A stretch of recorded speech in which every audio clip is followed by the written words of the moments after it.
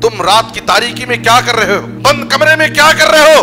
देखने वाला कोई नहीं। वो रब्बुल आलमीन, वो अहकमुल हाकिमीन मालिक यौमिद्दीन जिसके सामने मुझे खड़े होकर के जर्रे जर्रे का हिसाब देना है।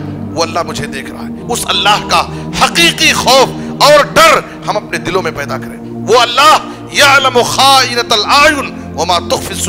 जो आँखों की खयानत, आँखों की खयानत को अल्लाह जानता है। और सीनों की पोशीदा बातों को अल्लाह ताला जानता है।